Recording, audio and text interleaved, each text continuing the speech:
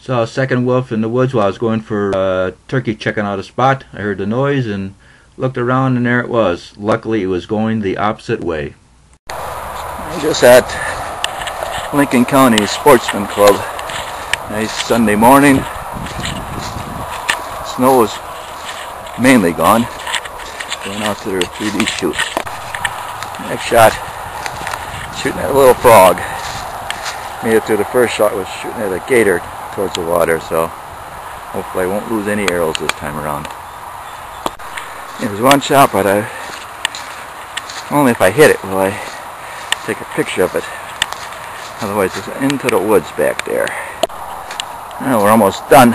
27 and 28. I didn't take a picture of that cougar as I missed. As close as it was, and at least the good thing I haven't lost any arrows.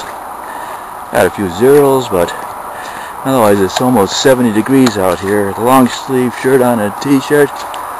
It's almost a little bit too hot. That's Highway 51 in the background if it picks up the sound, so they're just off of that, just north of Merrill. About 10 or 12 miles. Now, there's 27, one more to go, then lunch.